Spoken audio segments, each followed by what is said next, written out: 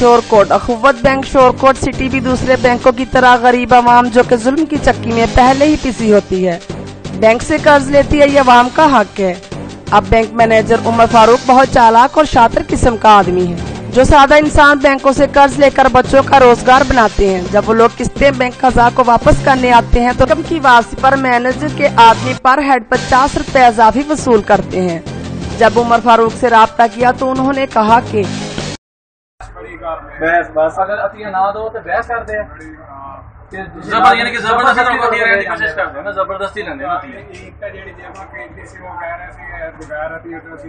بغیر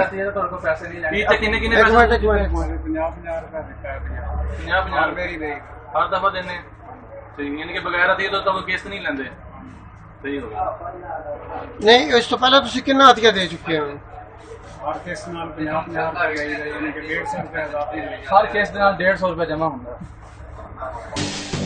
ہمیں افسران بالا سے حکم ملا ہے جس کا محکمانہ طور پر کوئی آرڈر وغیرہ نہیں ملا۔